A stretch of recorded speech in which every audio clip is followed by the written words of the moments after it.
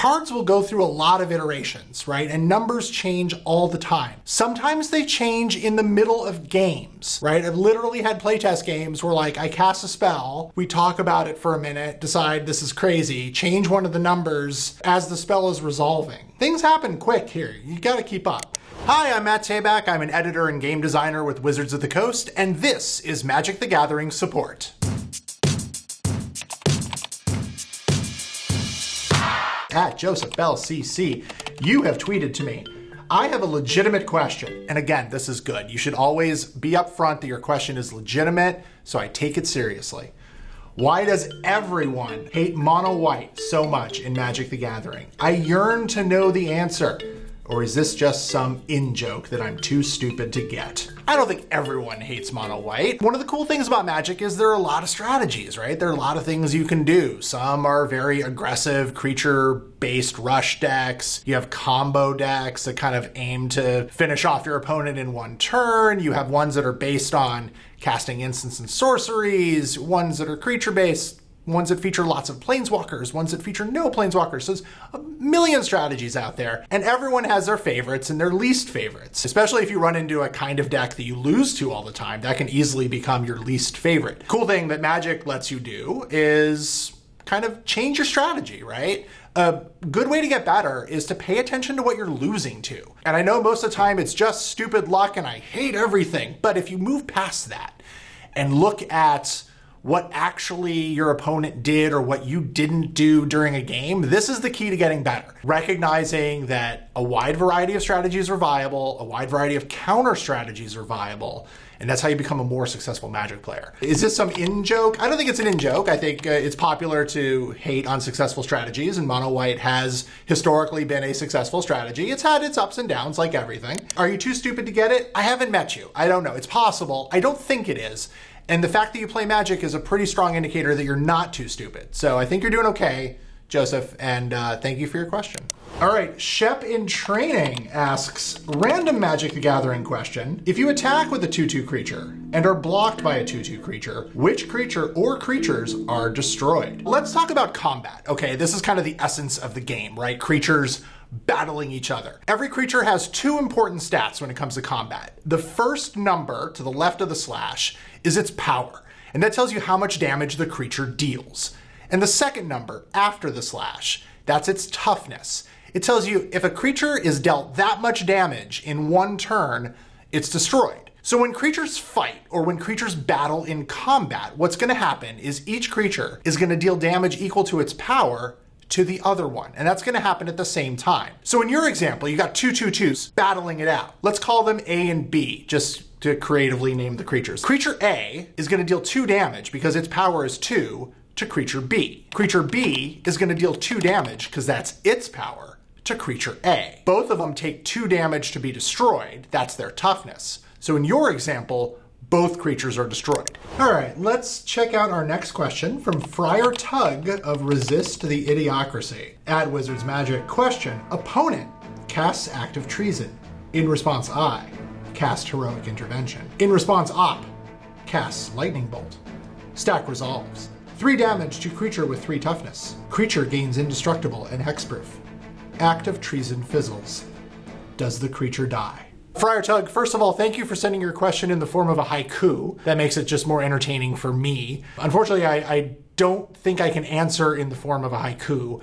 Um, I will, however, answer this question involving the stack and how things resolve using interpretive dance. Act of treason. Heroic intervention. Lightning bolts. So what happens is things are going to resolve top to bottom. The last spell or ability cast uh, is going to resolve first. So, Lightning Bolt is going to resolve first. It's going to deal three damage to a creature with three toughness. Now, right away, that creature is going to be destroyed. This is going to happen before Heroic Intervention resolves. So, there are rules in the game called state based actions. And what these do, they're kind of like the janitors of magic, right? They come through and they clean up any situation that needs cleaning up. So, after any spell or ability resolves, the game is checked to see is there a creature with lethal damage still on the battlefield? Is there a creature with zero toughness hanging out on the battlefield?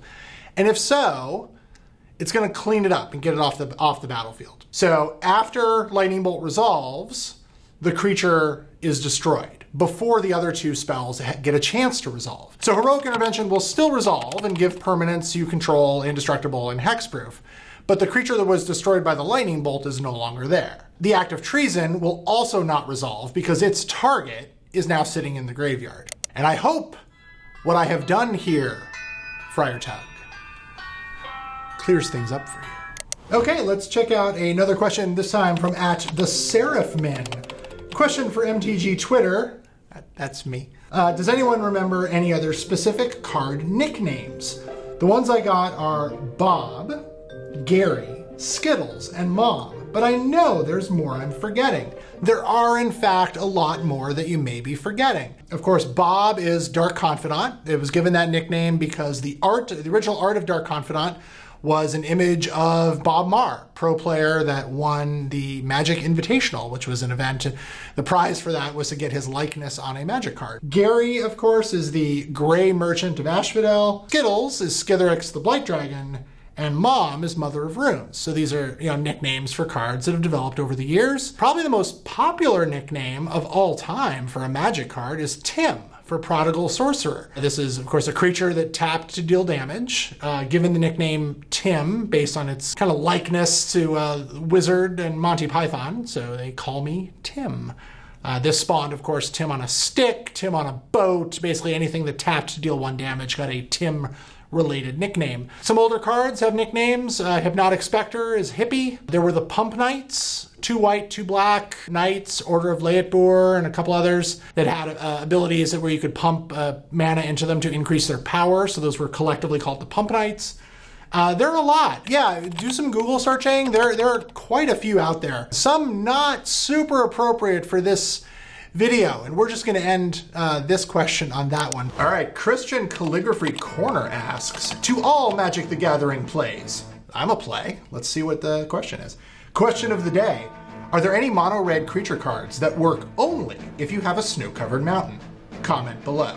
Now, some of you may be watching this video and you're looking to get into Magic and you don't know all the terms yet. So you're like, what are what is mana? What is lands? What, what's he talking about? So mana is basically the system of energy that we use in the game. So it's kind of a resource system. A game of Magic is all about is, you know, wizards casting spells. And to cast those spells, you need to have enough energy to do it. And that's called mana. The very easiest way to get mana is through your lands. Each turn you play one land from your hand onto the battlefield, and it's kind of a land you have and you control it, and you can tap that land, which means, you know, turn it, kind of indicate that it's used for the turn. And that gives you the energy that you need, the mana you need to be able to do other things in the game, like summon creatures, cast spells, activate abilities, kind of do things to interact with your opponent and further your goal of beating that opponent. My search didn't turn up any cards that, uh, any red creature cards that work only if you have a snow covered mountain. There are going to be a lot of creatures out there that get better if you have a snow covered mountain. So, for example, Ohran Yeti that can give your creatures first strike. So, look for cards that require snow mana of some kind or ones that care about having snow uh, lands on the battlefield. So, none that you need, but there are definitely some ones out there that get better. And our next question is from Yuli Bambuli. Blazing Archon is our card of the day because I have a legality question. All right, hit me. Creatures can't attack you. Check.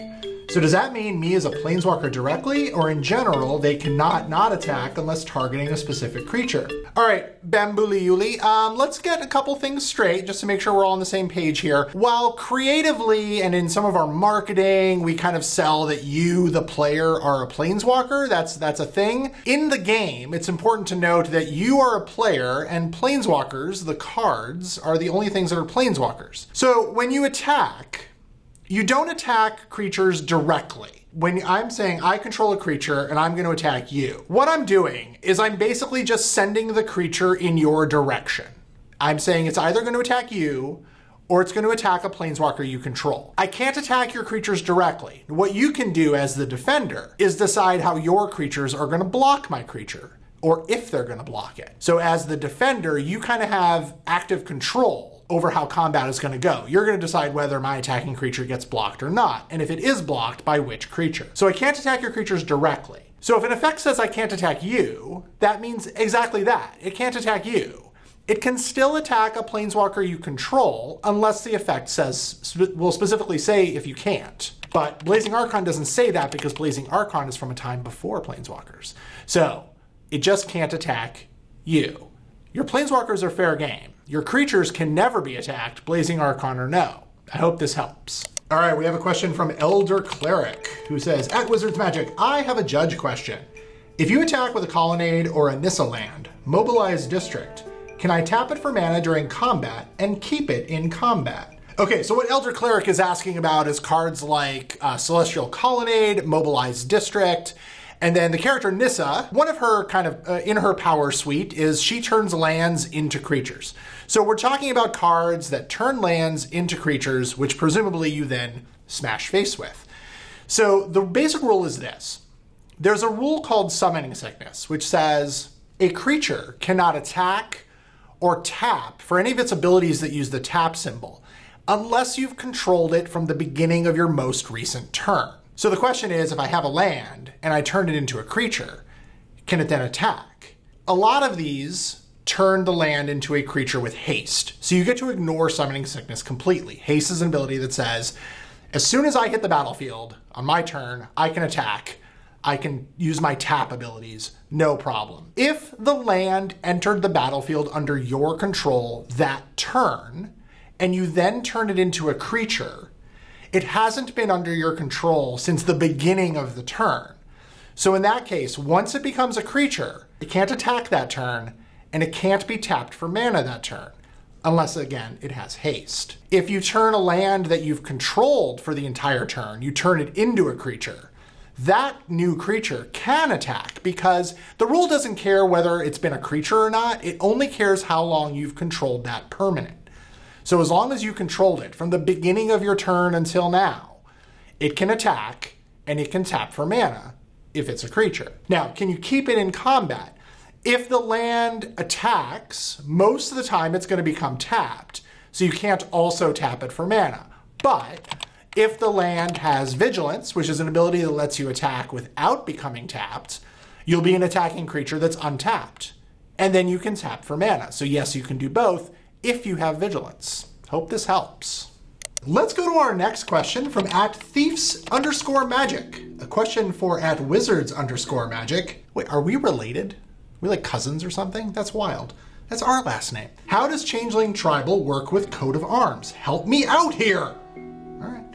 All right, Thieves Magic, a great question. Coat of Arms, uh, historically a very popular card, but sometimes misunderstood.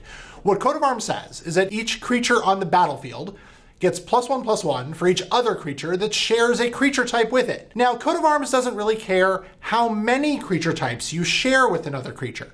So if you have two goblins on the battlefield, they'll see each other and say, hey, I'm a goblin, you're a goblin, let's each get plus one plus one. If I have a changeling on the battlefield, now changeling is an ability that says a creature is every creature type. So it's a goblin, it's an elf, it's a dragon, it's a wizard, it's a coward, it's a drag. It's like 180 of these things. It's everything. If it sees a goblin on the battlefield, it says, I'm a goblin, you're a goblin, let's each get plus one plus one. If there's two changelings on the battlefield, they say, I'm everything, you're also everything. They each still only get plus one plus one, because it's the number of creatures that share a creature type, not the number of creature types. Moving on to our next question, it comes in from at one sacred seraph. I have a Magic the Gathering question! If a person has a hand with no lands and no cards that can be played, can they burn their hand? At wizards underscore magic. Couple things I want to talk about here with this question. So the first is mulligans. At the beginning of the game, you draw seven cards. Now, for any reason, if you don't like those seven cards, if you have too many lands, if you have not enough lands, if you've built your deck around a particular strategy and your important cards aren't there, whatever. If you don't like what you see, you can shuffle it back into your library, draw another seven, see if you like those. Now, when you're done, as many times as you've shuffled your hand back in, you have to take that many cards from your hand and put it on the bottom of your library. So if I mulligan once, I'm gonna start the game with a six card hand. That's kind of the balancing factor. I get another shot to get what I want, but I lose a card in the process. And if I mulligan again, then I'm gonna draw seven and say, okay, these seven I like, I need to take two cards and put them on the bottom of your library. So however many times you shuffle back in, that's how many cards you're going to lose before you actually start the game. So that's a mulligan system that lets you sort of have a little bit more control over your opening hands. Make sure you get something you're happy with so the game plays out well for you. What you might be talking about in your question is there used to be still is probably in some cases, a house rule that said if at any point during the game, if my hand has no lands or nothing I can play, I can then like either shuffle it in and draw more cards, I can put it in the graveyard and draw more cards, I can do something like that. And those are not official rules. That is a house rule thing that some groups embraced, but according to the official rules of Magic, once the game starts, you're in. You can't just get rid of your hand and draw more cards because you don't like what you have in hand. And we have a question here from at slumber underscore spirit. What is the weirdest, most obscure, interesting MTG rules interaction you know? It's not the most complex thing in the world, but it's just cute. The, the card I, I will point to is a card called Faith's Fetters. It's an aura, and it has enchant permanent which means it can be attached to any permanent. Now, generally you put this on creatures because what the aura does is it stops them from attacking or blocking. It also stops their you know, abilities. Generally, this is a defensive aura that you're gonna put on things threatening you. So what you do is you get two of them and you put them on whatever. It doesn't matter what they're on to begin with. The important thing is, is Faith's Fetters says enchant permanent, which means you can use a card to move that aura onto a different permanent. So let's say I have Faith's Fetters 1, Faith's Fetters 2, doesn't matter what they're on. I'm gonna move Faith's Fetters 1, and that's a hard card to say. So it, the fact that I picked this tells you how much I love this interaction. And I'm gonna change it, I'm gonna move it. So it is enchanting Faith's Fetters number 2. So now I have Faith's Fetters 1, enchanting Faith's Fetters 2, enchanting something else. Doesn't matter. Find a spell, find a card, that can move an aura. I'm going to cast another one. And this time I'm going to move Faith's Fetters 2, so it is enchanting Faith's Fetters 1. So now I have Faith's Fetters 1 enchanting Faith's Fetters 2, Faith's Fetters 2 enchanting Faith's Fetters 1. Why did I pick this card? Did I have to say 17 million times? I don't know, but I did. So now the two auras are attached to each other. They're hugging each other for life. They're sitting on a battlefield that is defined by chaos creatures are running past them at full speed in an effort to destroy other creatures and deal damage to your enemy. And these two Faith's Fetters are sitting there hugging each other, clinging to life. They have no ties to any other permanent. They have no connection to anything happening around them. They're just relying on each other for life, for safety, for security. And at the end of the day, isn't that what we're all doing? Just clinging to safety and security in life, finding another person or thing or people, I don't judge, whatever, but holding on to them? Isn't that what it's all about? Right there in your game of magic while you're throwing lightning bolts at your opponent's head and destroying all their creatures and stone raining their lands because you're some kind of jerk. But here are those Faith's Fetters holding on to each other it's beautiful. It is a beautiful rules interaction. I'm sorry, what was your question? Let me look at it again. And we're done. Thank you so much for your questions. I had a blast. I hope you did too. This has been Magic the Gathering support.